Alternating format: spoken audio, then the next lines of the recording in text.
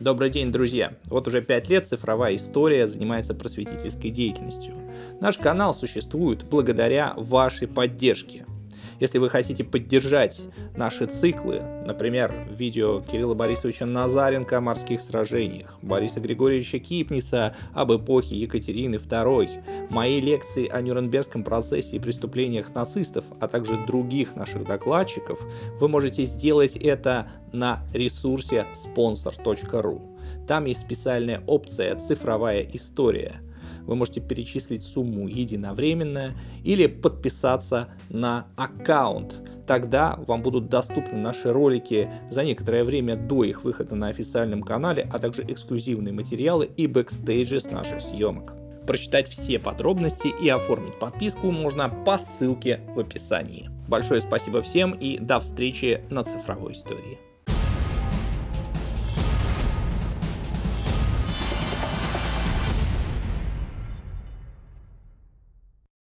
Добрый день, дорогие друзья, с вами я, Егор Яковлев, рад вас приветствовать на своем канале «Цифровая история». И сегодня у нас новый гость, это замечательный исследователь истории флота Сергей Махов, с которым мы познакомились в Самаре. Сергей, приветствую. Здравствуйте, Егор, здравствуйте, зрители. А, мы с Сергеем задались вопросом, а почему в России ничего не известно практически о флотах э, тех стран, которые были нашими главными соперниками. Э, речь идет, конечно, о шведском флоте и о турецком флоте. И для того, чтобы восполнить этот пробел, мы решили записать серию программ о наших противниках на море. И начнем со шведов.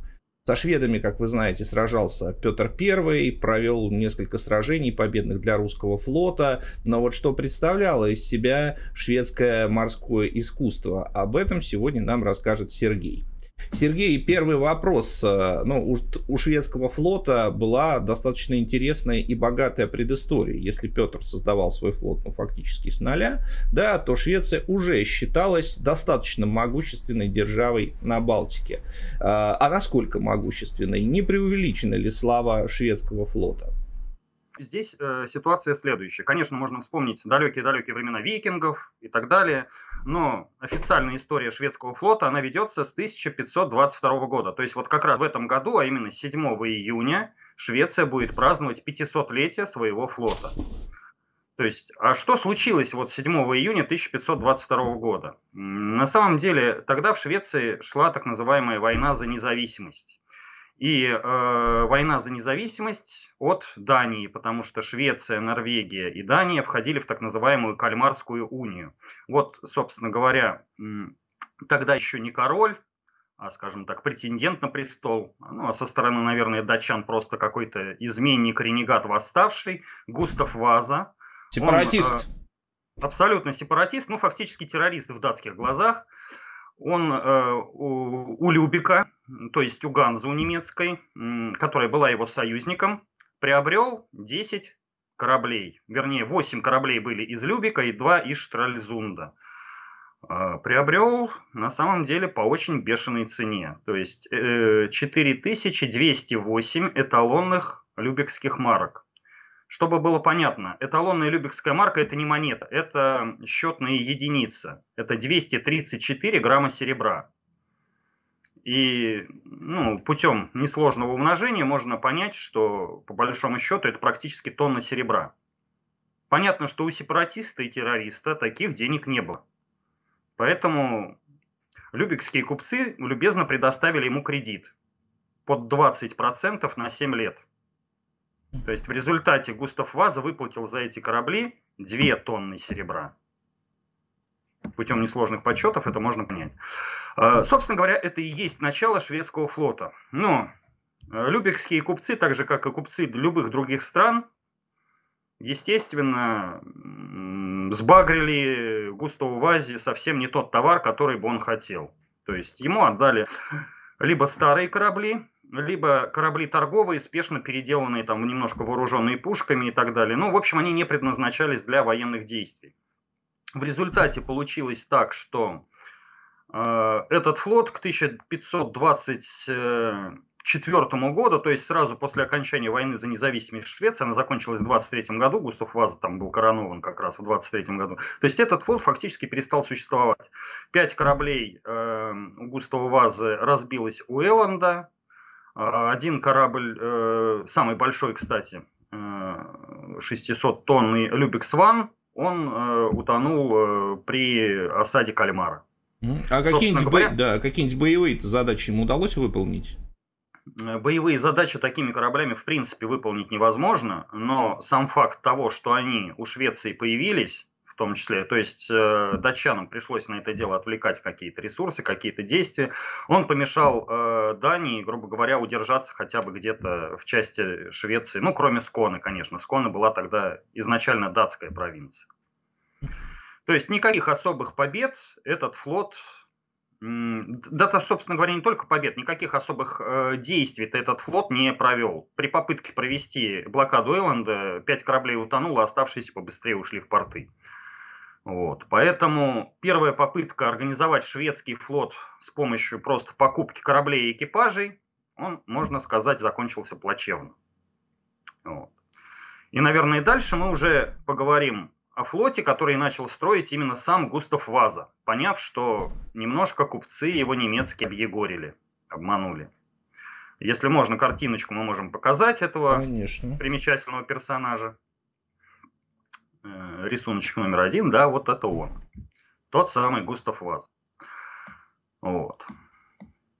Собственно говоря, когда Густав Ваза понял, что ему надо строить свой флот, он столкнулся с основной проблемой, с которой сталкивались абсолютно все страны, когда они начинали строить флоты. Дело в том, что Швеция в раннее новое время и в Средневековье, хотя она и обладала очень большим побережьем, да, э, она была бедной страной.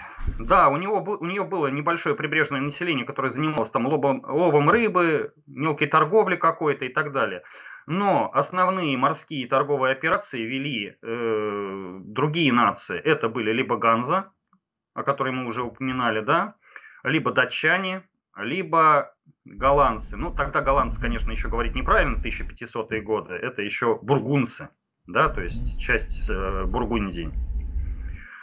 Вот. Э, поэтому... Не было кадров не то, что не было кадров, не было и денег на строительство флота. Это следующий вопрос про деньги, да. Да. И в этой ситуации, чтобы появились какие-то деньги, э, Густав Ваза создал такую систему, э, когда именно сам король занимается внешней торговлей. То есть все, что производится, а Швеция довольно богатая ресурсами страна, там есть медь, там есть железо, там есть даже немного серебра и так далее. Вот. Все, что производится внутри страны, скупается короной, и дальше корона уже выступает как такой маклер, брокер, который продает на внешнем рынке свои товары. Это, бы, это позволило Густаву Вазе иметь хоть какой-никакой, но прибыток, ну, прежде всего, расплатиться с Любиком, потому что, как я говорил, деньги там были гигантские. Вот, кстати, для сравнения, да, то есть, что такое 4208 эталонных марок? Весь э, весь доход от города Мальме в то время 300 эталонных марок. От Стокгольма 1200 эталонных марок. То есть вот, что, а, грубо говоря, с Густава Ваза взяли 4 Стокгольма. Угу. Здорово. Да, то есть э, кто-то на этом хорошо заработал, наверное. То есть он проводит централизацию. Да, он проводит централизацию, естественно, прежде всего за счет э, церковных земель, потому что Швеция не, не так давно стала протестантской страной. В общем-то, сам Бог велел немножко раскулачить господ попов и э, католических. Вот. Э, но сначала он, естественно, попробовал создать какой-нибудь дешевый аналог флота, о чем у нас так сейчас любят говорить. Давайте мы не будем строить большие корабли, давайте мы будем что-то делать маленькое. Э, Густав Ваза поступил проще. Ну, многие руководители наши сейчас так поступают где-нибудь на Авито или там на из рук в руки размещая. Да, ищу водителя-экспедитора с собственным автотранспортом, хорошая зарплата, бензин оплачивается и так далее. Густав Ваза решил передать... На Авито, дело... на Авито да. 16 века обратился. Да, обратиться к частникам. Э, мол, уважаемые шведские купцы или еще какие-то, пожалуйста, принимаю на службу, оплата сдельная, хорошая, ради бога. Вот. И действительно, эм, э, часть проблем так решилась. Но проблема была в том, что э, торговые корабли и военные корабли – это две большие разницы. Особенно если речь идет о шведских торговых кораблях или, ну, вот, балтийских стран того времени. Это обычно были очень мелкие суда, они были не способны для каких-то генеральных сражений, туда невозможно было поставить большие пушки э, и так далее. Поэтому э, эти корабли были только ограниченно годны для каких-то военных действий. Но чаще всего это либо набеговые операции, либо перевозка какого-то небольшого количества войск. То есть это все было ограниченно годно. Поэтому рано или поздно пришлось строить свои корабли. Но Густав Ваза, естественно, для престижа начал строить прежде всего большие корабли. Ну, хотя бы, чтобы один был, но большой. И вот в 1528 году на Стокгольмской верфи спустили первый такой, ну, можно сказать, для того времени настоящий монстр. 1800 тонн Сторы Кравен. То есть тогда стандартный корабль военный даже это примерно 300-400 тонн, редко 600-700. 1800 можете себе представить. Но построен он был по устаревшим технологиям, поскольку шведы сами по себе, они э, очень многое заимствовали у датчан и у немцев а на тот момент впереди было все-таки средиземноморское кораблестроение, которое как раз в XVI веке и двинуло вперед э, все кораблестроение, собственно говоря, основных морских держав. То есть э, эти корабли были построены с клинкерной обшивкой корпуса, соответственно, они были непрочные, соответственно, они были э, малоскоростные и так далее. Если мы откроем рисунок номер два, мы вот как раз увидим, разницу между клинкерной и карвельной обшивкой. То есть клинкерная обшивка, 2, да, э, вот можно посмотреть, например, э, номер 2, это обшивка внахлёст. То есть одна доска налезает на другую. Из-за этого скорость корабля плохая, из-за этого э, прочность тоже ниже, чем если делать в стык в стык. Вот если посмотреть, например, э, пятую картиночку там или шестую, вот это карвельные, понимаешь ли, обшивки, э, то есть здесь мы не видим, да, с внешней стороны никаких вот этих э, зубцов, вырезей, прорезей, соответственно, тут и скорость больше, и прочность лучше. Вот. Эм, Швеция на тот момент отставала от даже той же самой Англии, которая не была еще законодателем мод, потому что в Англии клинкерная обшивка, она бесповоротно ушла где-то в 1510 году. В Швеции она уйдет только ближе к Ливонской войне. Вот. Но, тем не менее, ладно, мы продолжаем. К 1534 году шведский флот насчитывал уже примерно 12 кораблей, но на 70% он был укомплектован наемниками. Это чаще всего либо датчане, либо немцы, потому что шведское прибрежное население было очень мало, а финнов до поры до времени на флот шведы не пускали. Э, ну, отношения шведов с финнами, это, наверное, тема Отдельная история, но да. всем понятно, что они были не очень хорошие. Да. Вот. И самое интересное, что шведский флот, вот первый свой такой вот боевой опыт – он получил в борьбе э, с русским государством, как ни странно. Ливонская война. Нет, это Нет? перед Ливонской войной была э, русско-шведская война, но мы сейчас скажем немного, мы сейчас подойдем к этому. В общем, изначально шведские корабли, они строились именно как, э, грубо говоря, такие морские дилижансы. То есть это просто средство доставки войск из пункта А в пункт Б. Э, но с увеличением флотского состава, то есть к 1541 году там количество кораблей возросло уже примерно до 30 единиц.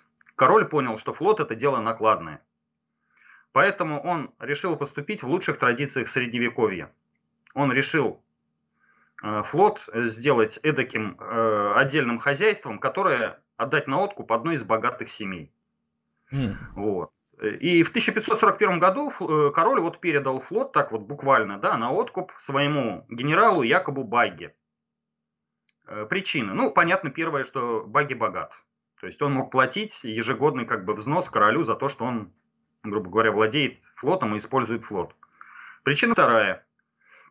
Баги имел э, в армии авторитет такого очень крутого дядьки, да, он был очень скор на, распла- на расправу и так далее. А во флоте, как бы он предлагал железной рукой навести порядок. Потому что эти флотские немного как-то расхлебенились и так далее. В общем, надо э, их немножко прижать к ногтю. Густову Вазе это понравилось. Ну и третье, э, как мы уже говорили, да, э, с моряками Швеции было не ахти, поэтому Баги предложил следующее. Раз нам не хватает моряков, у нас же есть вот тут восставшие крестьяне в деле Карлии, в Смоланде и так далее. Давайте их мы будем ссылать в матросы на исправление, и тем самым решим кадровую проблему. В общем, и деньги, и предложение Баги Густову Вазе понравились. И он, грубо говоря, стал, э, ну, фактически таким вот мини-королем шведского флота. Позже та же самая будет ситуация повторяться в Швеции постоянно. Это будут семейства Флемингов, Врангелей, Юленхаймов, Стенбаков, Вахмейстеров и так далее. То есть это такое вот частное предприятие, но под контролем государства. Такое эдакое Роснано, но все-таки под контролем государства. Вот. И вот э, теперь как раз э, есть смысл перейти нам к использованию, первому военному действительно использованию шведского флота, причем довольно на дальних расстояниях. То есть это 1555 год, осада Орешка, недалеко от Питера. Крепость Орешек э, находится в истоке Невы из Ладожского озера. Это древняя Новгород... новгородская крепость. Кстати, очень красивая, и э, если есть возможность, приезжайте, там интереснейший музей. Спасибо большое. Но мы все-таки пока продолжим про Байден. Итак, э, значит, весной 1055, 1555 э, года, то есть Ливонская началась через три года, если помните, значит, Густав Ваза и два его сына, Йохан и Эрик, пересекли Ботнический залив, прибыли в Финляндию, потому что там как раз вот в тот момент шла велотекущая война между Швецией и Россией. Вот. А, Баги, поскольку он был фин, э, наместником Финляндии, а, поднялся на 10 малых судах вверх по Неве и вот разведал путь до Орешка как раз. И предложил королю сделать туда налет силами флота. Король согласился. Значит, из Выборга Э, вышли 13 малых судов, но с артиллерией. Но самое интересное, что Баги, как настоящий кавалерист, он раньше до этого командовал кавалерией, он пошел с сухопутным отрядом по суху, к Орешку. Флотилия подошла. Шведы думали, что русские сразу же сдадутся, как же их атакуют кораблями, но русские почему-то начали стрелять. А русские не сдаются. Да, вот а русские не сдались, и в результате э, пушечный огонь русских из крепости отогнал шведскую флотилию вот эту. Она разорила несколько сел, и, собственно говоря, на этом весь поход и закончился. Все вернулись обратно. Густав Ваза, естественно, э, очень сильно поругался с Багги и, и прежде всего э, ему пенял на военные расходы. Мол, мы столько денег потратили, а где... Результат. Результаты. Результата нет, да. Но, тем не менее, это вот первая такая значительная операция шведского флота. Вот. Причем инициатива именно атаки, она исходила именно от э, самого Рикс-адмирала, то есть главного адмирала, военного адмирала.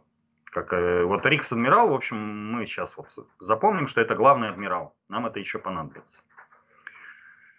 Э, Густав Ваза умер, э, а дальше ему унаследовал его сын Эрик, который стал королем Швеции Эриком XIV. И вот Эрик XIV как раз ввел в оборот, грубо говоря, такую шведскую стратегию, которая растянулась примерно до конца 17 века. В общем, Эрик предложил следующее. Естественно, глядя на Данию и оглядываясь на Данию, потому что Дания на тот момент владела обеими берегами э, проливов Балтийских и э, ввела там пошлину. Да, то есть из Балтики, Эрик... из Балтики выйти на просторы э, Атлантического океана было невозможно. Ну, почему невозможно? Возможно, но за деньги. Нет, нет, ну, естественно, без учета интересов Дании. Да, конечно. Вот. Эрик предложил, э, Эрик сказал, ну а мы что, хуже что ли? Давайте мы захватим устье всех рек, которые находятся внутри Балтики, там устроим свои таможни и будем тоже как бы получать зарабатывать. Прекрас... Да, зарабатывать деньги, потому что, как говорится, Не нет денег просто нет денег просто так жить, идите в бизнес, да, вот почему и нет. Не глупый был Эрик-то 14 Вот. Как он писал, вот я сейчас даже процитирую, для шведского государства ни в коем, ни в каком отношении не хорошо, если Россия или Польша будут иметь какие-то прекрасные гавани на Балтике. То есть... Супер. А я напомню зрителям, что в этот момент устье Невы находится еще под контролем московского государства. Ну, тогда еще и Ливония, это, как говорится, отдельное государство. Да, еще, еще ну, конгломерат государств. Вот. Ну, а дальше начинается Ливонская война, 1558 год, так называемый русский Блицкрик, после которого Швеция и Дания хватаются за головы. А хватаются за головы они почему? Все-таки на море у них было опыта гораздо больше, чем у России. И далее они проецировали свои мысли и то, как бы они поступили, на то, как поступит Россия.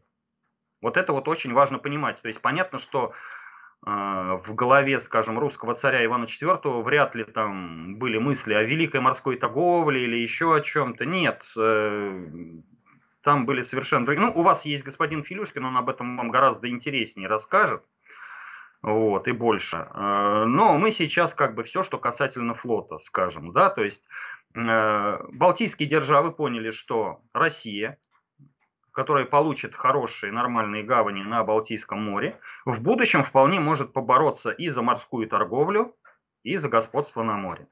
И, собственно, все последующие действия датчан и шведов и были выстроены в логике именно этого понимания. То есть вот они вот как раз перенесли свое мышление на русские действия.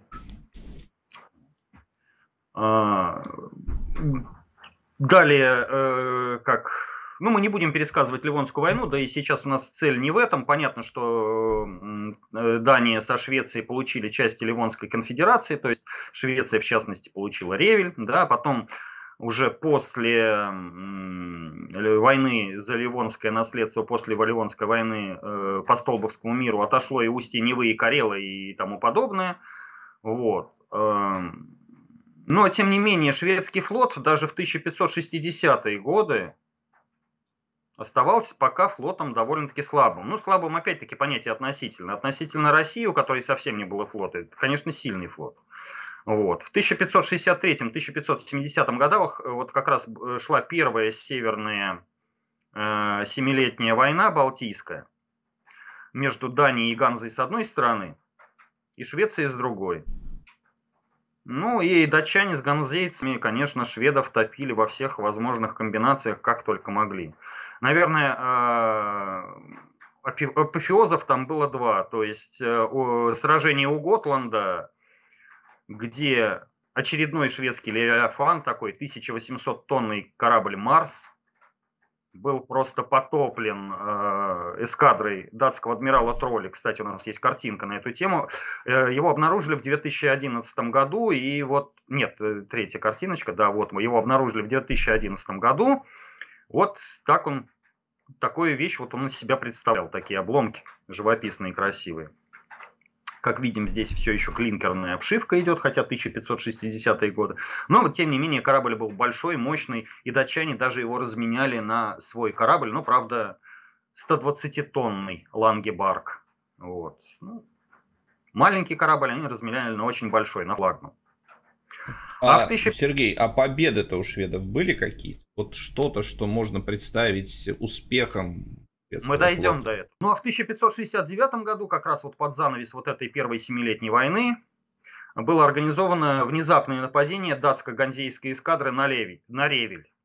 Тогда уже шведский Ревель. То есть 9 июля датчане и немцы, они просто вошли на рейд Ревеля, совершенно не готовые к обороне. Сожгли там 50 шведских кораблей, а с собой еще угнали в 40. Ну, вот эти 40 потом с пушечными салютами, с залпами, с радостью там толпы они ввели на рейд Копенгагена. Швеция, может быть, и сделала бы выводы из этого и начала бы перестраивать флот, но дальше в Швеции началась так называемая «Игра престолов» или «Шведская замятня» или «Война братьев», э, потому что там а, Эрик XIV сошел с ума, пришел к власти его брат Йохан, с которым, кстати, у Ивана Грозного были непростые отношения. По-моему, какую-то женщину они польского происхождения не поделили. Егелонку, по-моему, да? Да, есть известная переписка, где Иван Грозный пишет э, Юхану, что ты безродный. Я-то вот перечисляет своих э, высокородных родственников, э, указывает на то, что он потомок византийских императоров, а про твоих предков мы никогда не слышали, пишет ему Иван Грозный. Ну, а потом э, уже Сигизмунд и Карл Зюдерманландский поссорились. В результате Сигизмунд Ваза стал королем Польши, как вы помните, а Карл под именем Карла IX королем Швеции. Вот. Э, поэтому тогда, честно говоря, было не до флота. Ребята боролись за власть, у ребят были свои проблемы, э, там ничего такого не было. Поэтому нам придется перейти к Густаву Вазе. Густав Адольф. Великий человек. А, великий человек, и это правда, потому что э, в 1614 году, чтобы хоть как-то упорядочить управление флотом, он организовал Адмиралтейств Совет, так называемый, при Королевском Совете. Но одно дело организовать, э, все-таки для того, чтобы Совет хоть как-то эффективно решал свои проблемы – все-таки желательно ему дать а. финансирование, б. какую-то власть. Густав Адольф, к сожалению, ничего этого не дал.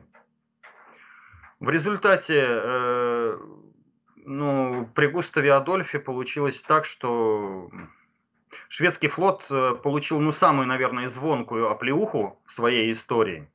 Это знаменитое сражение под Оливой в 1626 или 1627 в, 1900, э, в 1627 году, где польская эскадра из 10 кораблей, э, э, причем эти корабли все абсолютно зафрахтованные, и командуют ими там либо голландцы, либо немцы, нанесла поражение шведской эскадре из шести кораблей. Говорят, что вот его биограф Герман Харте потом писал, что король вот беспрестанно потом ходил, там бил все, что попадалось под руку, и повторял, что дрожащие от страха купцы разгромили людьми, которые сделали войну своей профессией. Это, кстати, сражение под Оливой, это одно из серий сражений, когда Густав Адольф пытался захватить Данцик. Опять-таки, вспоминаем Эриха XIV с его мыслью сесть в устьях всех рек. Вот. А, что происходило с флотом во времена Густава Адольфа? Ну, э, самая главная задача, конечно, была обеспечение перевозок шведской армии в 30-летнюю войну а, на континент. И с этой задачей, в принципе, шведский флот справился. Особых сражений у него до 1640-х годов, в принципе, не возникало. А с кораблестроением, что творилось с кораблестроением, ну, наверное, эту историю все знают. Если хотите, можем рассказать. Речь о знаменитом корабле, который до сих пор экспонируется в Стокгольме, ВАСа. Собственно говоря, история стара как мир, но тем не менее. Э, два голландских мастера, Хенрик Хайбертсон и Арен де Грот, подрядились построить для короля Густава Адольфа два малых 33-метровых и два больших 44-метровых, имеется в виду длина по килю корабля. Вот, вот Васа как раз он был, должен был быть малым, то есть 33-метровым. Но далее, в 1625 году, э, во время шторма в Балтийском море, Швеция теряет 9 кораблей. Потом сражение под Оливой, э, где теряется еще два корабля, мы о нем говорили чуть выше. И Густав, Густав просит в приказном порядке увеличить длину корабля. Хайберсон отказывается. Ну, Густав более того, что пишет, не только увеличить длину корабля, так вооружить его вообще так, ну, грубо говоря, такой должен был быть all big gun, да, то есть одни большие пушки, ну, 17 века, то есть поставить на него 74 24-фунтовых орудия, это для того времени это очень большой калибр, 1630-е годы. Э, Хайбертсон вовремя умер, и дальше строительство вела его вдова Маргарет. А честно говоря, вот основными всеми работами, организацией производства э, рулил будущий его капитан Хэнсон, или Хансен, как по-шведски правильнее. В общем, уже э, к 1627 году, когда был построен сам корпус корабля, было понятно, что корабль очень неустойчив. Но король приказывал продолжать производство. Хансен, чтобы убедить корабля, э, короля, вернее, э, приказал 30 матросам бегать, вот как в «Пиратах Карибского моря», от одного борта к другому, чтобы раскачать корабль. Вот после третьего уже пробега корабль настолько раскачался, что чуть не перевернулся. После этого Хансен остановил этот эксперимент. Э, его зафиксировали все шведские корабельные мастера, они отослали королю, что вот ну нельзя в таком виде спускать корабль в море. Но король корабль... сказал, ну не перевернулся же. Да, спускать. Далее началось оснащение. Внезапно оказалось, что в Швеции э, нет парусов, поэтому паруса закупили в Голландии. Но, как мы понимаем, голландцы парусов не производили. Они э, купили отбеленное конопляное полотно в шведской же Риге. Если мы помним, э, к тому времени э, это была очередная шведско-польская война, Лифляндия отошла Швеции. Отбелили это полотно и опять прислали в Швецию. А проблема в том, что конопляные паруса, они вообще-то толще и тяжелее, чем льняные. То есть еще хуже стало со стойчивостью. А, для защиты от абордажа и так далее на ВАСу поставили высокую кормовую, высокую носовую надстройки, да, а, для мушкетеров и лучников. Это сделало ситуацию с устойчивостью вообще плачевной. А, если же вспомнить, что ВАСу делали вообще по голландской методе, где дно округлое, а, скажем так, не острая, то вообще получилось что-то типа куклы-неваляшки. То есть уже, по идее, у корабля шансов не было никаких. Может, Дальше, Гу- может Густав Вазы хотел кого-то особого нелюбимого утопить на этом корабле? Я шучу, Просто конечно. на этом дело не заканчивается. Потому что дальше э, балласт, который обычно должен был быть каменным. Для чего нужен каменный балласт? Камни можно переместить. Ну, допустим, у вас крен на левый борт какой-то при постройке, да, вот балластом мы можем это исправить. Побольше камней на правый борт положить, и вот у нас уже корабль стоит прямо. То есть вместо каменного балласта на васу засыпали песочный балласт, то есть просто песок. Естественно, песок никакого, ничего не улучшил. Вот. Единственное, что можно сказать в плюс, наверное, да, что королевские заводы лили орудия целый год, ну не, успели, ну не успели изготовить 74 24-фунтовых орудия. Их изготовили только 46, которые поставили на вазу, плюс две старые 24-фунтовки поставили на вазу, а все остальное вот добили маленькими калибрами, то есть 6 фунтов, 3 фунта и так далее. То есть если поставили вот 74 такие пушки большие, я думаю, он даже те 1300 метров, которые он шел, он бы не прошел, в принципе. Вот. Просто повторим, то есть, итак, изначально планировавшийся как однотечный 128-футовый э, корабль с 32 пушками, ВАСа в результате вырос до 134-футового двухдечного корабля, пушки не уместились э, в одну палубу, в один дек, пришлось ставить наверх. Вот. Э, с 74 пушками. Строительство начал один мастер, но достраивал другой. При этом заказчик постоянно вмешивался, требовал изменений, требовал улучшений, добавлений и так далее. Еще тесты показали, э, что корабль имеет очень плохую остойчивость и готов опрокинуться при малейшем крене. Но его дополнительно перегрузили орудиями, поставили тяжелые паруса, неправильно распределили балласт. И, ну, по сути, корабль был запрограммирован тонуть 10 августа 1628 года, ну, что, собственно, он и сделал. Тем более, что он вышел из порта при открытых пушечных портах нижнего дека ради салюта. И в эти порты, когда он накренился, конечно же, ливанула вода. Вот, собственно говоря, это уровень шведского кораблестроения на 1630-е годы. Надо сказать, что все это происходило при огромном скоплении народа. То есть э, Ваза затонул. А у нас даже картинка есть, там вот, видно. Прекрасно, прекрасно, да. Ваза, картинка третья. Ваза затонул пред очами многочисленных собравшихся горожан. Да. которые э, вышли проводить его в последний путь. Но благодаря ВАЗе мы, мы имеем очень много, э, скажем так, реликтов той эпохи и более-менее понимаем, что там было и как, э, как жили матросы, что они ели и так далее. Да. Но об этом мы поговорим чуть позже. Кто не знает, вазу подняли, и теперь это музей в Стокгольме. Дальше у нас на очереди датско-шведские войны которые протянулись аж с 40-х до 70-х годов. И вот здесь как раз можно говорить о, если не единственной, то одной из не очень частых побед шведского флота. Вот. На тот момент Э, надо сразу сказать, Швеции, по крайней мере на море однозначно, очень сильно помогала Голландия. Почему? Потому что Швеция на тот момент была ее союзником в борьбе с Габсбургами.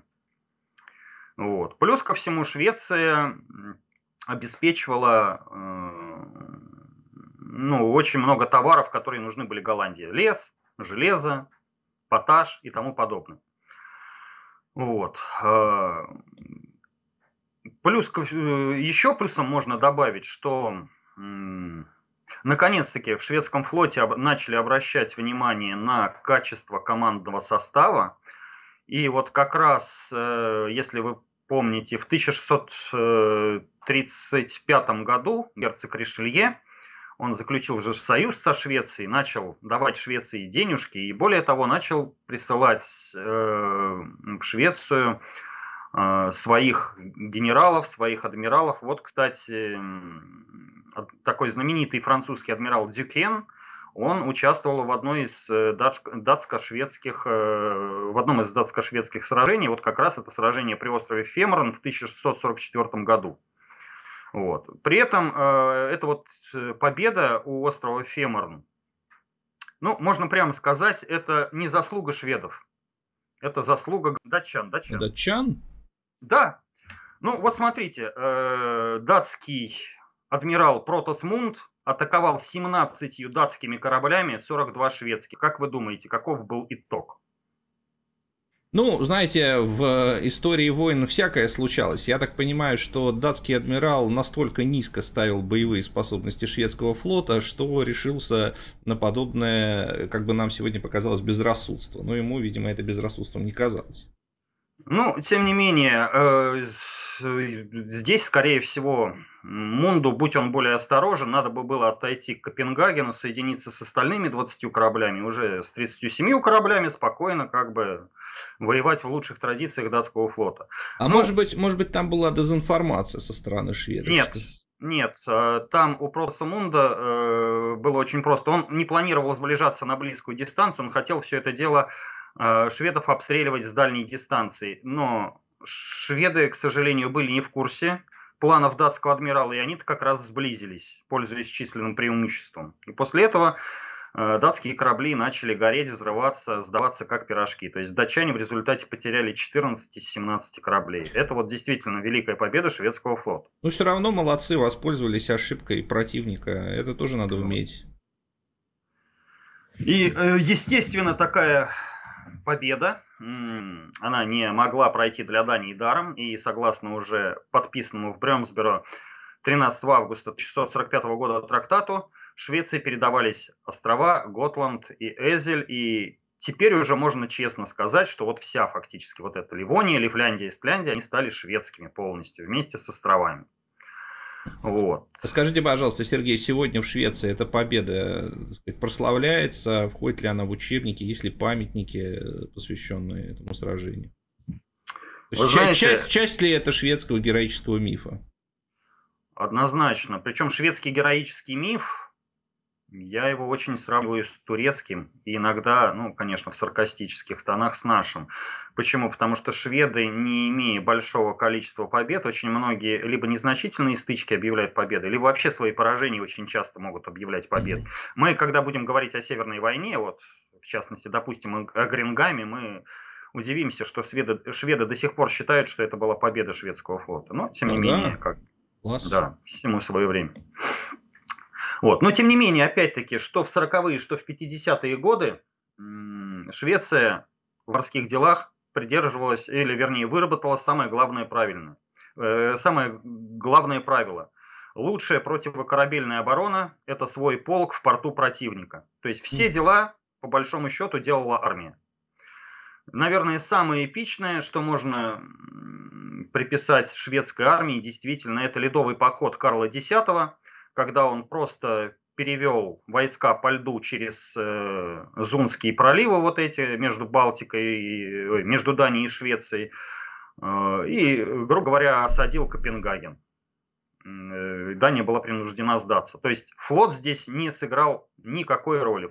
Флот, по большому счету, Швеции и в тот период нужен был только для перевозок. Ну, а сражения 1670-х годов для шведского флота сложились и вовсе плачевно. Почему? Потому что в этих сражениях уже Голландия поддерживала Данию. Дания и так-то один на один Швецию, как говорится, бивала и не раз, да, а тут еще и Голландия. Голландский флот все-таки один из фаворитов всегда был того времени. Вот. Здесь еще надо вот что сказать. Э, примерно с 1630-х годов Швеция перешла на так называемую, ну как это называется в западной литературе, субсидиарная экономика, да? То есть вот Швеция вступила в войну, в 30-летнюю войну в 1630 году. В 1631 году она уже могла объявить себя банкротом. Денег не было вообще. То есть прошел ровно год войны. Однако на помощь пришла Франция, как все знают, да, то есть Ришелье тогда проводил дипломатию пистолей, и, э, значит, Франция, согласно договору в Вестеросе, э, выделяла Швеции ежегодно сумму в 640 тысяч риксдалеров, то есть 1 миллион ливров. Много это или мало? 640 тысяч риксдалеров. То есть вот на 632 год бюджет, весь бюджет Швеции, 2,2 миллиона риксдалеров. То есть, ну, можете прикинуть, примерно треть бюджета. А, и вот эти субсидии для Швеции на протяжении всего, всей вот второй половины 17 и всего абсолютно 18 века, это стало вообще частью бюджета. Причем это бюджета чисто королевского, потому что эти деньги тратились на армию и на флот. То есть, когда у Швеции были субсидии, она могла позволить себе тратить больше. Когда у Швеции по каким-то причинам субсидии вдруг исчезали, она не могла себе позволить потратить чего-то лишнего. Вот. Э, поэтому, скажем, если говорить касательно флота, на флот иногда проливался золотой дождь, когда субсидий было много, а иногда финансовая засуха, да, то есть когда субсидий было мало. И это тоже надо учитывать, когда мы будем говорить, а почему именно вот так вот развивался шведский флот, а не иначе. Потому что было э, даже не то, что не недостаточное, было непонятное финансирование всегда лучше что-то делать или лучше что-то планировать, когда у тебя с финансами, ну, есть, какая, э, есть какие-то финансовые границы, в границах которых ты можешь планировать что-то, да, то есть есть бюджеты хотя бы там на год, на два, на пять, есть какие-то понятные вещи, сколько чего нужно.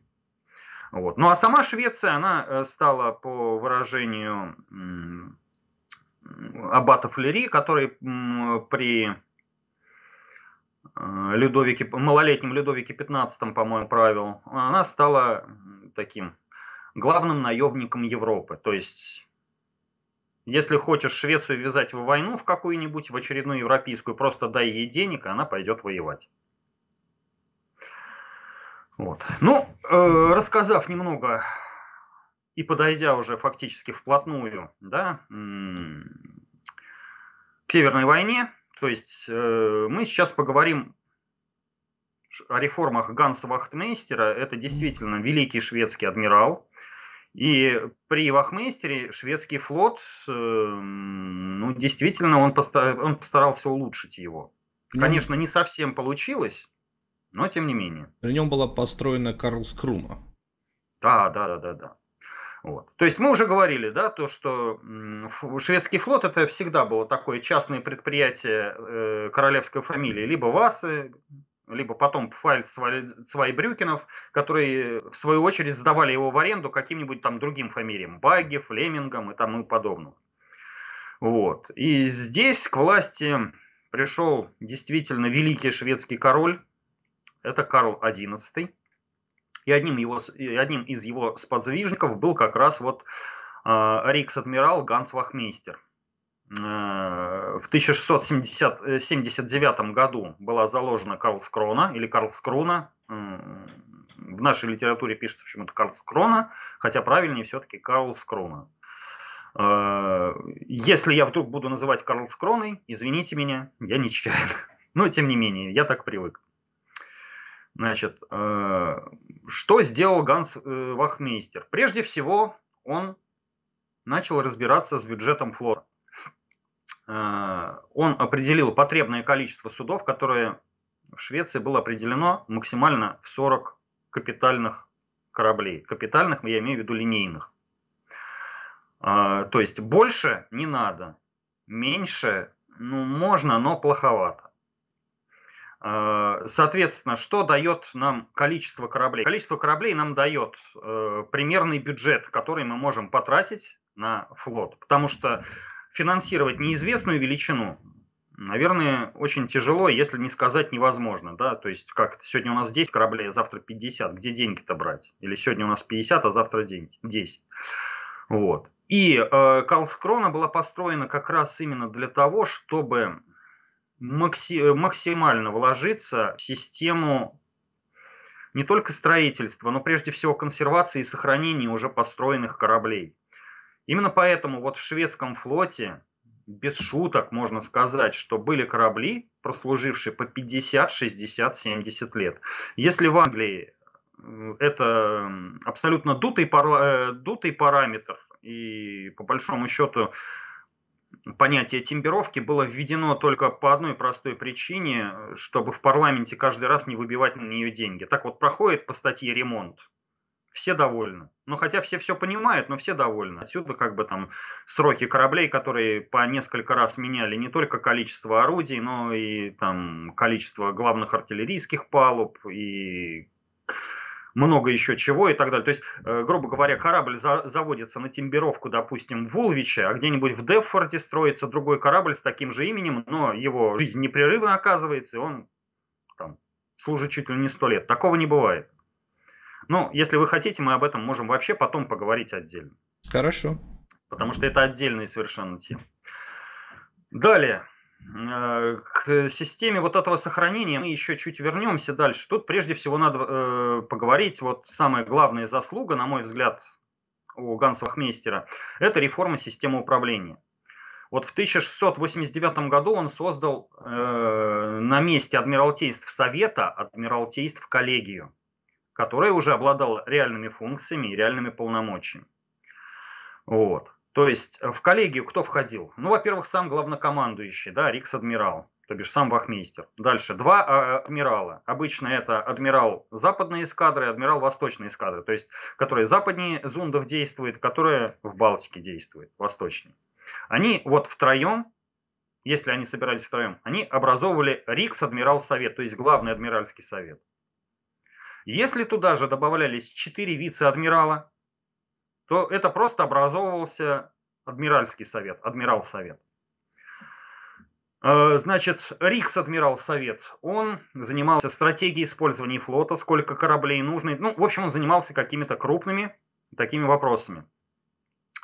Э, если же брать просто адмирал совет, то он прежде всего выступал как арбитражный суд и э, организация, которая распространяет тендеры, обеспеченные финансированием, на что-то. Это может быть постройка, это может быть снабжение, это может быть, э, э, не знаю, наем э, каких-нибудь людей, экипажа, еще чего-то и так далее.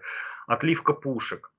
А, в 1692 году отдельно была создана канцелярия Адмиралтейства, задачей которой было ввести бухгалтерию все, всего вот этого прекрасного значит, устройства и плюс сотрудничать со всеми гражданскими службами, например, со службой лесного хозяйства Леса же, например, нужны для строительства, нужны, значит, мы должны как-то сотрудничать. Или, э, допустим, э, со службой какого-нибудь сельского хозяйства. Вот нам на эскадру нужно такого, такое-то количество зерна, такое-то количество провизии или еще чего-то. Вот, пожалуйста, обеспечьте вот такие деньги и так далее. Вот. Самое, наверное, для шведов плохое, что вступивший в 1697 году Карл XII э, на престол – вот он эту службу все-таки немного изменил, очень многое замкнув на себе. Но об этом мы, наверное, поговорим уже, когда будем говорить о Северной войне. Вот. Теперь о кораблях. Значит, корабли, назначенные на консервацию, они полностью разгружались, оттуда вытаскивались все пушки, снимались мачты, рангоут, такелаж и дальше их вот на деревянных катках с помощью систем подъема и блоков закатывали вообще сначала вот э, в какие-то крытые ангары такие, а потом вообще в крытые боксы, потом даже в сухие крытые доки. В этих амбарах днище корабля чистили, корпус красили специальным составом свинцовой краски белил. Э, значит, этот корабль, грубо говоря, он от того, что Балтика замерзла или выпал снег, он абсолютно как бы ну, не страдал, да, то есть вот сравним с другими флотами. Э, в Royal Navy, например, что делали? Корабль просто разгружают, снимают с него стенги, мачты оставляют, да, заводят в какую-нибудь э, реку или устье реки, там, скажем, Медуэй, там, не знаю. Вот он там стоит, он там зимует. В русском флоте нас э, корабли вообще зимовали во льду, да, вот те, кто хочет понять, что, что же случалось с, деревя... с деревянным кораблем во время зимовки во льду, ну вот те ради интереса могут загнать, например, свою машину в Неву, да, на зиму хотя бы по брюху и оставить, а потом весной прийти и посмотреть, что получится. Ну, естественно, такая система, она требовала очень-очень-очень много денег. А бюджет любой организации, как мы понимаем, ну, если, конечно, ты там не Руперт Мердок, там, не Джон Рокфеллер, или там на наши деньги не Илон Маск, да, который там шел покупать Твиттер, купил Твиттер. Вот. Э, у любой организации деньги конечны. Соответственно, если мы на что-то тратимся, значит где-то мы должны экономить. Вот. Экономить при такой системе, при шведской системе пришлось на экипажах. Э, прежде всего начали со снабжения. То есть, если, э, например, весь 16 век э, основной едой рыбаков была солонина и рыба, то есть мясо и рыба, то к 17 веку разнообразие рыб начинает, э, ну вот скажем, сельдь пряного посола исчезает, появляется вяленая рыба. Почему вяленая? Потому что на сельдь уходит больше соли, на вяленую, соответственно, меньше соли, можно сэкономить. А, вместо э, солонины, окороков, колбасок, вареных языков, маринованные требухи и так далее приходят опять-таки крупы, крупы, горох, чечевица, овощи, э, как там писал э, тот же самый Карл XI, да, горох и чечевица вполне себе заменяют мясо. Ну, сам бы он попробовал, конечно, на морской службе вот, на чечевице и мясе прожить. В общем, последствия таких решений, конечно, были катастрофическими. А, именно для 18 века, потому что весь 18 и начало 19 века шведский флот не, э, шведский флот не вылазил из эпидемии, тифа, цинги э, и всего, чего только можно, потому что люди банально не доедали. А, как мы понимаем, ослабленный человек, он гораздо легче заболевает. Вот. То есть вот э, опять-таки, если мы говорим про ту же самую Васу, да, вот э, если на Васе были найдены кости куриц и гусей, то вот э, начиная со второй половины 17 века даже мясо птицы оно исчезает как класс угу. на кораблях. Вот. Опять-таки, для того, чтобы еще больше снизить траты на экипажи, эм, собственно говоря, была введена система комплектования, такая же, как в армии, это Индельта. Значит, все обрабатываемые земли Швеции и Финляндии были разделены на участки, которые назвали Индельтами. Э, то есть, это группа крестьянских дворов, которая, это, которая была обязана выставить одного солдата и его содержать. Более того, Индельта, она выделяла солдату участок земли, торп, да, э, на котором был дом, какой-то небольшой там приусадебный участок. Она также ему скидывалась на мундирование и продукт питания. Вооружение и снаряжение солдата уже выдавалось государством. Вот эта э, группа крестьянских дворов, она э, содержала вот этого одного солдата. Этот солдат в мирное время призывался раз в год на военную службу, а все остальное время вот он на своем участке там пахал, сел, делал то же самое, что обычные солдаты. А, если начиналась война, естественно, солдат уходил в армию, а Индельта должна была подготовить вот ровно другого такого же солдата, который, грубо говоря, был заменой первого. Если первый вдруг погибнет, отошлют второго. Вот, э, естественно, Индельта одного Леона, они э, чаще всего сводились в один и тот же полк. Ну, например, там Упланский какой-нибудь мушкетерский полк, да, это значит полк из э, крестьян Упланда. Вестерботтенский, значит, из Вестерботтена, да, ну, собственно, понятно и ясно. То же самое было и с флотом. И вот здесь надо поговорить как раз о такой вещи. Я не знаю, есть ли в русском языке такое понятие в русской военной науке, но вот в западной я встречал такой, э, так называемая глубина эффективной мобилизации. То есть сколько ты людей можешь призвать, которые ну, достаточно эффективно могут действовать э, в той или иной отрасли военной науки, да, там, скажем, артиллеристы, моряки и так далее. Вот как раз э, глубина мобилизационной, эффективной мобилизационной способности Швеции по, относительно флота, она составляла примерно ну, тысяч пять-шесть человек в то время. Э, через систему Индельты Карлу XI удалось, это, удалось флот увеличить, численный состав флота, я имею в виду людей, до 13 тысяч человек. Вот. Э, и вот э, это произвело известную проблему. То есть вот эти пять тысяч, о которых мы говорим, это прибрежные жители. То есть те, кто, по крайней мере, умеют плавать, знают, что такое море, знают, как управляться с парусом и так далее. Да? А кто оставшиеся 8 тысяч? Ну, это чаще всего какие-то крестьяне, пейзани, которые море не видели, ничего не знали и так далее. А, значит, по приходу на флот рекруту выдавался мундир и небольшие подъемные деньги. В общем, как шутили все кабачики в припортовых кабаках, э, мундир за все время службы – это единственное было ценное приобретение моряка. Вот. Эм, дальше на флоте начала на шведском из-за такого наплыва вот э, крестьян, которые чаще всего были менее образованы, чем приморские или городские жители, началась ну, натуральная, грубо говоря, дедовщина такая, да, то есть когда в лучших таких традициях от, э, старослужащие отбирали деньги у новослужащих, да, заставляли их поить, кормить себя за свой счет, пока деньги не кончились. Тем более выплаты зарплаты были нерегулярными и могли задерживаться даже на годы. Вот. Э, поставить себя в шведском флоте конца 17 века можно, наверное, было тремя путями.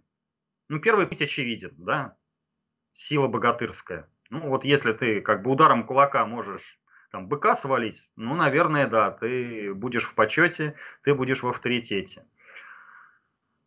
Второй путь – это что-либо уметь. То есть, если ты хороший штурман, если ты, допустим, хорошо умеешь работать с парусами, если ты э, умелый артиллерист или еще что-то, да, тебя будут уважать это безусловно. То есть известен даже такой случай, э, он приводился э, в одной из статей, которые я читал. Э, то есть, когда 15-летний матрос во время шторма потребовал, чтобы его пустили на мачту убирать паруса. То есть он захотел... Себя показать. Да, показать. Его добавили к команде марсофлотов после того, как он уже несколько раз заходил вот с этой просьбой, но закончилось все плачевно. Парень просто упал э, и разбился о палубу. Но, судя по всему, это был его единственный шанс вот заслужить как-то уважение в коллективе. Вот. Но был еще и третий путь, очень интересный, поднять социальный статус на корабле. Это, только не смейтесь, жениться. Потому что женатые воспринимались как люди опытные, бывалые, ну, была только проблема в том, что за моряков почему-то женщины особо замуж идти не хотели. Почему? Жены моряков вечно голодали, христорадничали. Часть жен жили на кораблях. Очень часто жены и вдовы моряков занимались проституцией, потому что как бы денег совершенно не было и так далее. Вот. Э, поэтому, ну, жениться для моряка представляло еще ту проблему. Ну и плюс ко всему, у женатика был еще один бонус такой на корабле. Их поддерживали офицеры. Очень сильно. То есть э, считали, что народ женатый, как более ушлый, он будет и воевать лучше, и свои обязанности исполнять лучше.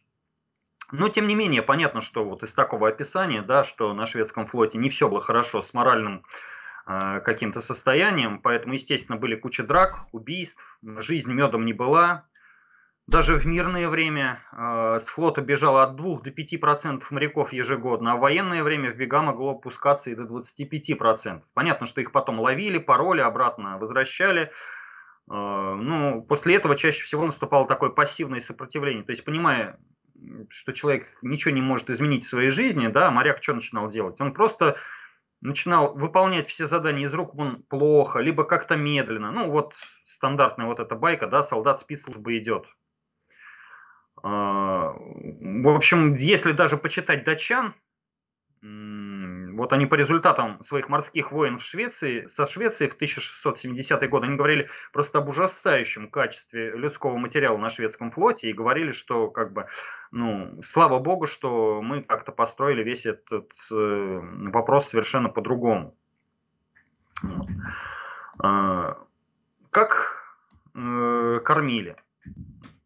Значит, в шведском флоте пища выдавалась поартельно, ну, точно так же, кстати, как и позже в русском. А, это, э, и артель чаще всего составляла 7 человек. Почему 7? Ну, во-первых, это было очень удобно для кока. То есть кок, он имеет списки э, снабжения человека на неделю. Вот он выдает этот недельный рацион, это получается еда на день для 7 человек. Ему, то есть, думать не надо, вот у него приготовлены, грубо говоря, э, все продукты, вот он выдал, все, артель получила. Дальше она э, готовила чаще всего все сама, ну, кроме каких-то, э, скажем так, общих блюд, ну, чаще всего это блюдо, э, где либо солонина, либо небольшое количество рыбы разварено э, вместе с какими-то крупами или кашами до такого состояния, что там невозможно определить, что это такое. И это опять-таки делалось по особой причине. То есть э, вы сами понимаете, военно-морской корабль это очень такое замкнутое пространство, особенно мужчины в замкнутом пространстве, они могут э, поднять бучу по поводу всего чего угодно. Например, а почему у того кусок больше, чем у меня? Или почему вот у него на куске там столько жира, а у меня столько? Вот когда это все разварено до неузнаваемости, то есть когда у всех одна мутная жижа, как бы здесь вопрос споров, он пропадает. Ну и особняком стоит шведская медицинская служба которая вот, наверное, в истории флотов является ярчайшим примером того, как вообще не стоит организовывать работу с хранением гигиены и здоровья экипажей. Самый простой пример. А, значит, э, во время войны, э, скажем так, э, ну вот русско-шведская война 1788-1790 годов. А, шведы в 1788 году захватывают э, российский линейный корабль, корабль «Владислав», э, на котором началась эпидемия тифа. Кстати, в России тоже началась эпидемия тифа на тот момент, ну, я имею в виду на русском флоте. Э, в России с этой эпидемией тифа справились. Швед... Шведы пригнали наш трофейный корабль в Свиаборг, с эпидемией совершенно не справились, и у них в результате умерло ну, примерно треть экипажей просто.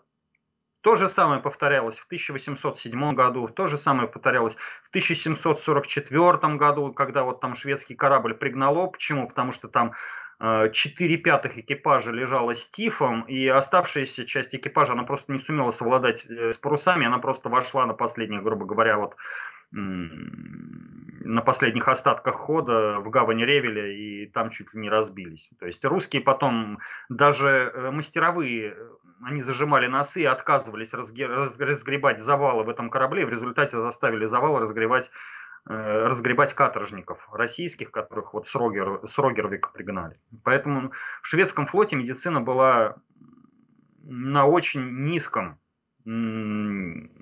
уровне. И с чем это связано, честно говоря, э, я до сих пор ищу. Потому что вроде как бы шведы аккуратные, чистые и так далее, а тут вот такой афронт. Странно, да. А, у меня есть несколько дополнительных вопросов. Мы поговорили вроде бы обо всем, кроме подготовки командного состава. А вот как готовили шведских офицеров?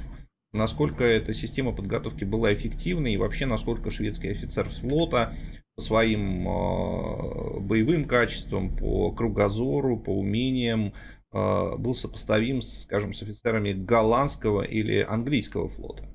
Или хотя бы датского? Вот как раз э, хоть какое-то внимание подготовке офицерам начали шведы уделять в 1660-х годах. И когда они часть своих офицеров послали волонтерами на другие флота, прежде всего на французский, потому что у Франции и Швеции были тогда союзные отношения. Вот. Но, как ни странно, особо это ни в чем не сказалось. Нет, понятно, что э, шведы э, во времена господствующей тогда линейной тактики умели строить линию, да, то есть и так далее, то есть э, знали, как управлять парусами и так далее. Но проблема даже в другом. На мой взгляд, основная проблема э, шведских офицеров в том, что они совершенно не знали даже свои воды. И когда мы будем говорить о Северной войне, мы с вами вот там уже будем разбирать сражения, потому что здесь мы, как видите, сражения это так, галопа по Европам проходим, чтобы не совсем уж не завязнуть. Вот когда мы будем там разбирать сражения, мы увидим, насколько шведские офицеры вообще не понимают, эм, э, собственно, они не знают навигации, они не знают условий применения своих кораблей, что вот здесь вот можно, здесь нельзя и так далее. Вот. Это одна из а. вещей, в которых русские их превзошли в конечном итоге? Однозначно превзошли. Здесь можно говорить однозначно. Ведь войны выигрываются не потому, что там кто-то был гений, а кто-то не гений. Войны выигрываются именно потому, что кто-то смог наладить эффективную подготовку своего личного состава и его военную работу, а кто-то не смог должным образом. Вот и все. Хорошо, ну этом... а все-таки какие-то имена можно назвать из э, шведского флота конца 17 века, да, накануне угу. вот Северной войны, да, ну какие-то звезды там были, люди с европейской известностью или хотя бы с региональной известностью, какие-то таланты, которые, э, ну, являлись лицами шведского. Карл Вахмейстер, Ганс Вахмейстер, Карл Врангель, э, этот э, Хенрик, по-моему, Врангель и так. В общем, э, семейства-то служили в основном одни и те же на самом деле. Вот. Э, дальше вот мы с вами увидим, что там эти фамилии, они будут постоянно повторяться и так далее, тасоваться между собой. Юленштерны, Врангели, Вахмейстеры и так далее. В общем, ну, это вот все будет одно и то же. Просто нам, еще одна, на мой взгляд, проблема была шведского именно генералитета или офицерства, высшего офицерства, да, в том, что все равно вот эта идея о том, что корабль это просто перевозчик войск, она так и оставалась вот в умах шведских офицеров, в умах шведского флота. Плюс ко всему, здесь еще надо сказать вот о чем.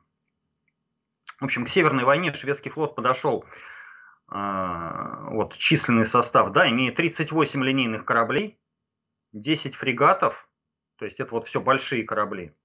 А дальше вот, ну, как говорится, и смех, и грех. Два бомбардирских корабля, две шнявы и один транспорт. То есть вот человек, посмотревший на это, скажет, а где у них мелкие-то корабли? Ведь Балтика, она же вся мелкая, она вся изрезанная, там шхеры, там фьорды и так далее. А здесь все очень просто. Большие корабли, на них можно больше солдат погрузить и больше перевести за раз. Поэтому от малых кораблей постепенно решали отказаться. Не в том плане, что вот всех их взять, там, утопить или сломать и так далее, да, а имеется в виду, что по мере того, как они приходили в негодность, э, их просто пускали на слом, а нужное количество не восстанавливали. И вот э, строительство вот этого москитного, москитного флота, оно начнется как раз э, с началом Северной войны в 1701-1702 годах, когда шведы судорожно начнут строить сначала флотилии на озерах, Чудском там озере, Онежском озере и так далее. Кстати, вот э, Шнява, Астриль, Тагидан, они как раз 1701-1702 годов постройки.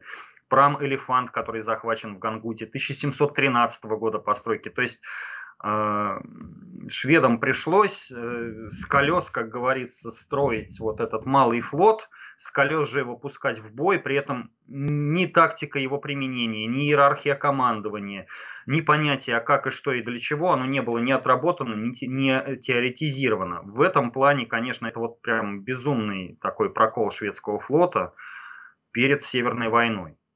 А вот вы говорили, что э, был адмирал Запада, да, который действовал за зундами, то да. есть в Северном море, и, видимо, в Атлантике, да. А чем они там угу. занимались? Чем они там занимались-то? Они, э, собственно, осуществляли перевозку солдат на театры военных действий в Западную Европу или что-то еще делали? Нет, зачем? Ну, во-первых, надо не забывать, что э, Норвегия на тот момент была э, датской.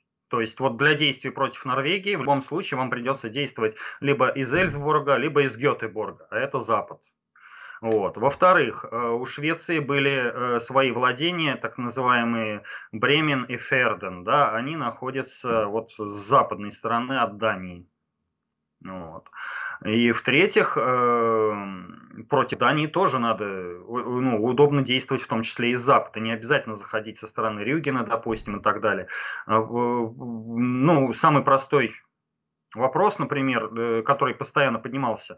А, а почему бы нам, допустим, вот не пойти там эскадрой из Гетеборга и не захватить датскую Алькону? Датская Алькона, она находится, ну, фактически напротив Гамбурга, это устье Эльбы. Вот очень богатый тогда был торговый город.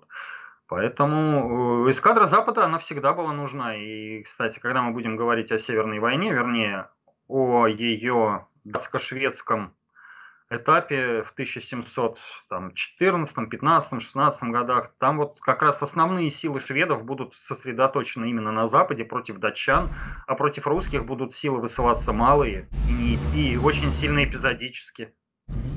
Хорошо. А у Швеции были претензии на колонии? Да, были. Это были 1640-е, 60-е годы.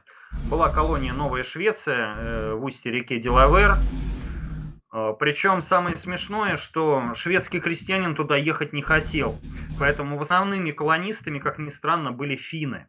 Mm. Да. Вот, потому что Финляндия, э, где возросло население, она попала, э, как это называется, мальтузианская ловушка или что-то. В общем, э, там начало относительно небольшого получаемого продукта хватать еды банально для людей, и там начались постоянные голода. Ну вот, если вы с Гришей Цаденковым разговаривали, я так думаю, теорию голода он вам рассказывал много-много всего. Вот. И, естественно, финны начали переезжать туда, селиться в Новую Швецию. Но эту Новую Швецию очень быстро отжали. По-моему, англичане. А нет, голландцы. Понятно. Понятно. Ну что ж, давайте коротенько тогда резюме сделаем в конце э, нашей первой программы. То есть вот мы застыли накануне Северной войны. А, есть шведский флот, такой кривой косой, но тем не менее одержавший какие-то победы, тем не менее а, являющийся фактором противостояния на Балтике, а у России никакого флота нет. Ну, я вот, во-первых, э, хотел бы заострить внимание – да, то есть, э, если рассматривать историю, что русского флота, что шведского флота и так далее, и датского в том числе, надо понять, что эти флоты, по сути своей, были региональными флотами. И требовать от них чего-то, как от мировых флотов, ну, наверное, это неправильно. Вот. Э, то есть, естественно, эти флоты, поскольку они были региональными, то есть они в своем государстве не играли главной роли, Э, они были отданы под опеку, скажем так, армии. То есть армия решала, где флот использовать, как флот... То есть, грубо говоря, армия ставила ему задачи, что ты должен делать, как ты должен делать. И э, финансирование у него тоже велось по остаточному принципу. Основные деньги, естественно, что в Швеции, что в России, ну, Дания здесь исключение, конечно же, э, они э, всегда шли на армию. Вот. Это, с одной стороны, и понятно, и хорошо, и логично, и объяснимо, но с другой стороны, это во многом, в том числе и, тради... и традиционное отсутствие такое вот морского именно мышления. А морское мышление в морской войне очень часто необходимо. Сухопутном. То есть, э, если в сухопутном мышлении достаточно, допустим, занять столицу противника, да, или там занять какую-то сильную крепость, или продвинуться на территорию, вот она, как бы, понятно, существенная, э, поня, ну, мы можем понять, вот это успех или это не успех, да, то есть, вот мы там продвинулись, допустим, э, захватили Истляндию, успех. В Ливонскую войну ушли там из Лифляндии Истляндии, не успех, в море такого нет. В море нет каких-то крепостей, которые надо завоевывать и так далее. Э, морская война – это война прежде всего за э, коммуникационными путями какими-то. И самый главный, э, самое главное решение проблем, да, вот для того, чтобы свои коммуникации избавить от чужой угрозы, это разгромить врага в генеральном сражении. Либо, если ты не можешь его разгромить, сделать так, чтобы этот враг со своими превосходящими силами безвылазно сидел у себя в морских базах и не мог выйти из- из-за постоянных угроз, да, где-то, откуда-то и так далее. То есть, чтобы флот его держался соединенный и из баз не выходил, боясь, что что-то случится. Вот. Э, и это надо понимать. Э, и второе, что я хотел сказать перед э, этим, то есть вот как раз в самом начале русско, э, именно русско-шведской северной войны, мы не, потому что там уже была еще война с Данией, если мы помним, да, в самом начале. Да. Именно шведский флот перевез войска Карла XII в Пярну, который тогда назывался Пернов. И именно из Пернова войска Карла XII подошли к Нарве и разгромили войска Петра I. Допустим на секундочку, что у нас был бы, ну, допустим, даже такой же плохенький, как у Швеции, но свой флот, и мы бы перехватили эту эскадру. Вполне возможно, никакой Нарвы бы и не было. И более того, может быть, и Северной войны бы не было. Э, на мой взгляд, именно то, что вот так спокойно можно, оказывается, выиграть кампанию, на Петра Первого произвело очень такое величайшее впечатление и только утвердило его в том, что флот нужен и его надо строить. Ну, об остальном уже, наверное, про Северную войну мы поговорим потом. Да, да, спасибо большое, Сергей, очень интересное начало. Ну что, друзья мои, а, пишите комментарии, задавайте Сергею вопросы, потому что он а, осведомлен не только по данной тематике, а обладает широчайшей эрудицией. И мы очень рады, что такой спикер на нашем канале появился. До новых встреч. До свидания. Я тоже рад вас видеть. Взаимно.